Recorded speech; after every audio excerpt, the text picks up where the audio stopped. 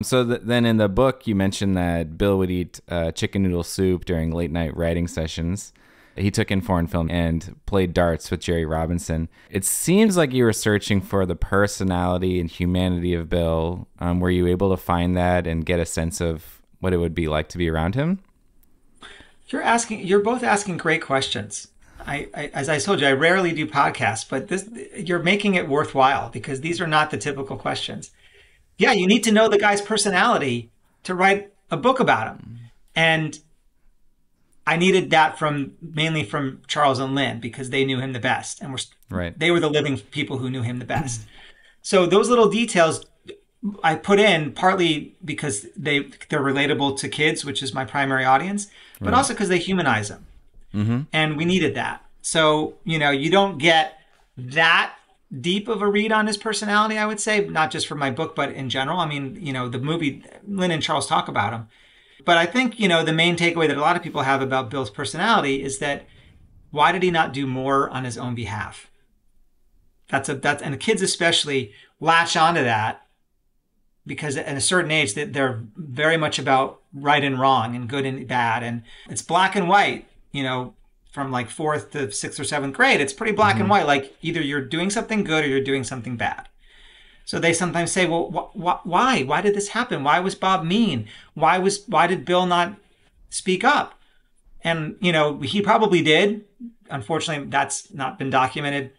Um, so I could, I, there was one letter I found that's on my blog where he does show some backbone about the situation, but you want to believe that the hero of the story tried to save himself before other people step in.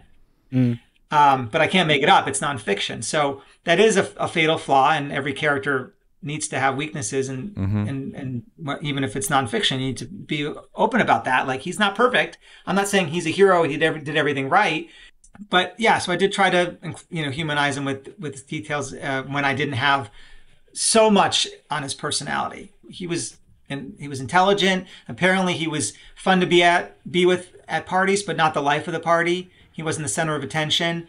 He was certainly a very educate self-educated, so he had things to talk about. He read a lot. Uh, he was also athletic. I mean, he had he was fairly well rounded. He just wasn't, again, you know, the probably the most dynamic presence in a group.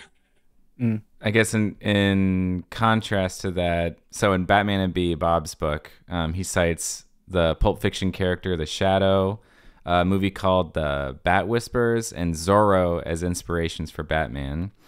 Were you able to get a sense of what some of Bill's inspirations for Batman and his stories were? Uh, those that you said. Okay. Bob was saying them, but I mean, Bill was the reader, so he would have probably maybe Bob read The Shadow. I, I don't know, or I don't know, or listened to the radio shows. But of the two, Bill was was more was was definitely a reader, and I, I would imagine Bob was not much of a reader at all. Maybe other comics, but I don't think he was reading much beyond that. And that's a that's a that's a speculation. And I, you know, Zorro, I'd have to go back and look in the notes. I don't remember if Bill said much about Zorro, but uh, I know that he said that the that the um, the blank pupils or the lack of pupils in Batman's costume. That was Bill's uh, idea, but taken from the Phantom, another pulp character mm. that predates Batman, comic strip character, I should say. Bill was very open about his his his um his swipes, you know, where he got ideas from. And at the beginning, he he did swipe, but then he he you know did a 180 and became you know a, just a visionary for the field and what, what he brought to it in terms of psychological depth and range of char- types of characters and just longevity. I mean, 25 mm-hmm. years. So he he started off, you know, inauspiciously, you could say, and at least in the first story or two, but then really had it in him to do great. And that's very common. Like, you know, you think about, I'm not so fresh on this, but I remember people were saying the first season of Seinfeld was pretty weak tea. But in those days, you'd let things you'd let things percolate a bit. You wouldn't just can't kill it if it doesn't sure. get certain numbers in, in one in one season or one, you know, in the beginning. And look what happened. So, and there's something to that in the creative field. Like if people are given the chance to breathe creatively, once they get their foot in the door, if they're given that opportunity, maybe there's greatness there that they just didn't tap from day one. So that's what happened with Bill.